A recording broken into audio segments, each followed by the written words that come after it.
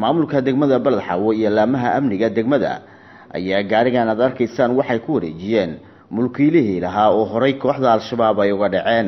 Gaarigan oo ay muddo al-shabaab gacanta ku haysteen ayaa waxaa markii ay qabsanayeen uu u sii socday dhanka magaalada garbaarey isagoo ka hambabaxay magaalada baled xaawo ka gadaal waxaa gaarigan gacanta dib ugu dhigay ciidamada nabad sugidda gobolka gado kuwaasi oo duleedka degmada baled xaawo dagaal adag kula galay kooxda al-shabaab baabuurkan oo mulkiilihii lahaa uu aada ugu baahnaa ayaa maantay waxaa dib markaasi gacantiisa ugu caliyey maamulka degmada baled xaawo iyo taliyaha ciidanka nabad sugidda ee degmada baled xaawo mulkiilaha lahaa gaarigan oo sheegay in markaasi gaarigiisa ay dhac ku haysteen kooxda al-shabaab ayaa u mahad caliyey ciidamada dowladda iyo maamulka degmada baled xaawo waxaana uu sheegay in gaarigiisa lagu wareejiyey gudoomiyaha degmada gudoomiyaha degmada gudoomiye ku-xigeenka taliyaha nabad sugidda waa u hambalyaynahayaa iyadoo gaari muddo badan iga maqnaa ay igu wareejiyeen maanta.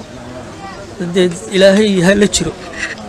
Furihiisiioo la isiina waka dowladda soomaaliyana dhammaan waa u mahad celinaya gudoomiyaha maamulka degmada baled xaawo axmed bare iyo taliyaha nabad sugidda degmada baled xaawo cabdiqaadir xuseen iyagoo ka hadlayey kulankan gaariga loogu wareejinayay mulkiilihii lahaa ayaa waxa ay sheegeen inay sii wadi doonaan dagaalka ay kula jiraan kooxda al-shabaab. Baabuurkan aad arkaysaan waa baabuur shacabka soomaaliyeed uu lahaa oo nimanka nabadiidka ay ka dhaceen.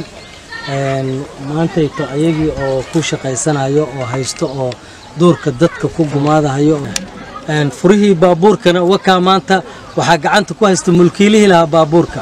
Taasna waa guul ay soo hoyeen ciidamada qalabka sida khaasadan kuwa nabad sugidda ah maanta aan ku naaloon karno kuna seexan karno kuna bogaadinayno waxa ay noo baabuurkan shacib baa lahaa ummadda soomaaliyeed baa lahaa.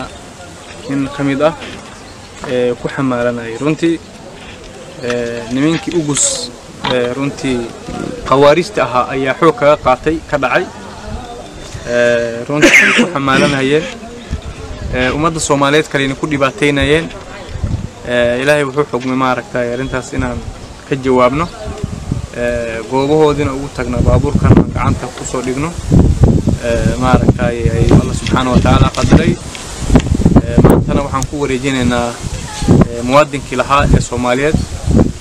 Runtii annaga waxaan u taagannahay waa difaaca ummadda soomaaliyeed iyo runtii naftooda iyo maalkoodaba maxamed macalin warbaahinta qaranka degmada doolow soomaaliya